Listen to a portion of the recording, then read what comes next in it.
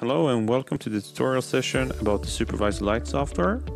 In this episode we'll be covering basic configuration of the instrument if you use your 104, 104IS, um, 106, 971, any equipment from Svantek used for health and safety measurements can be configured using the Supervisor Lite and in this video we'll be covering how to do that. Now upon start of the software, this is the screen you will be greeted with if you're not connected with any Svantek instruments. So, as the screen explains here, no instrument connected.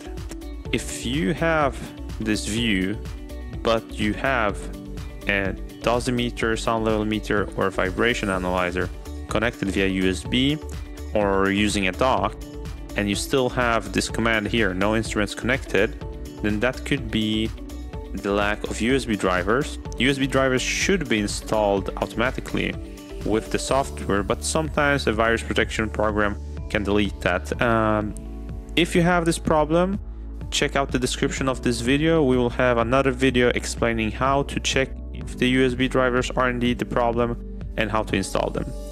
Now, I'm going to connect a unit and let you see how the supervisor software reacts.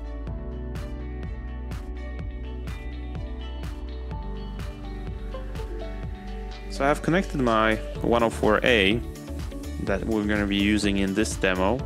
And as you can see straight away, supervisor uploads the current settings. So what we see here are the current settings uploaded on my dosimeter. This means that if I would now just pull the cord, break the connection between the computer, between supervisor and uh, the unit.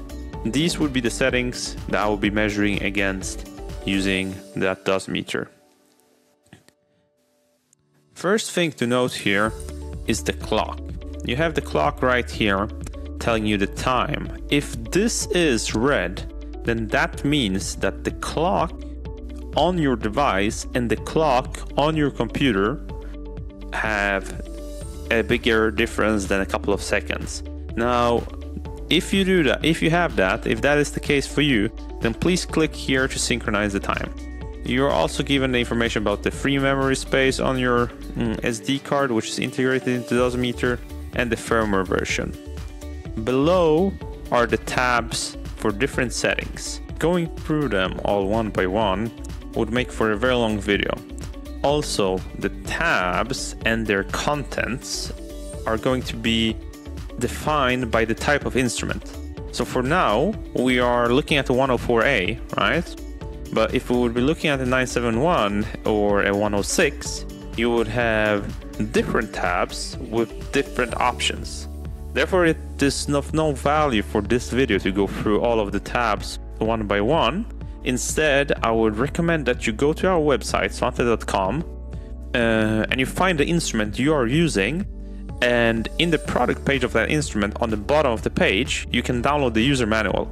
And in that user manual, there will be screenshots of supervisor with explanation on what these different parameters mean. I do, however, want to show you how to change settings and what you have to do to upload them to your device. So let's assume we want to change the presets standard here to OSHA HC. We already have OSHA PEL on the profile 1, profile 2, I'm sorry. And as you can see here, as soon as we change one setting, the activate setup button goes orange. That is to indicate that the current setting that we're trying, that we're changing, whatever we change here has not been activated in the dosimeter. Now, if I would click here, activate setup, that would upload the files to the dosimeter and now as it's blue again or uh, you know uh, white uh, it means that these settings have been activated. If you are in progress of changing something so if let's say I want to set the spectrum of productive bands to A and then in the middle of that I'm thinking well you know what? I, I need to go to the data browser to check something out that will warn you and disallow you to do that without saving the settings. Clicking no here will uh, disregard from changes. Clicking yes will upload the settings, cancel, takes us back. One final thing that I want to show you before we end this video is the ability to choose previous settings.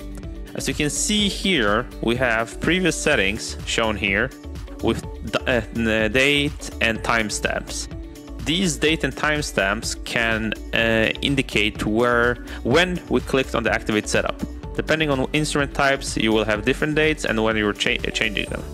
So, if you, for example, you have to configure five dosimeters, you make a configuration in the first dosimeter, activate that. The time is now uh, eight uh, minutes after pre, so 1508. And then you connect a new one, a new 104A.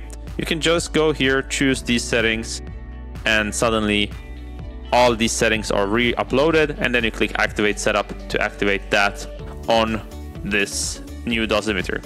So this is great if you're configuring more than one dosimeter. So this has been the tutorial on how to configure dosimeter using Supervisor Lite. Uh, in the upcoming video, we're going to show you how to download data, review data, and finally how to post-process data in order to obtain a document and report. So stay tuned for that. And if you have any questions, contact your distributor or us here at Svantek at Svantek Support. Thank you very much and have a great day.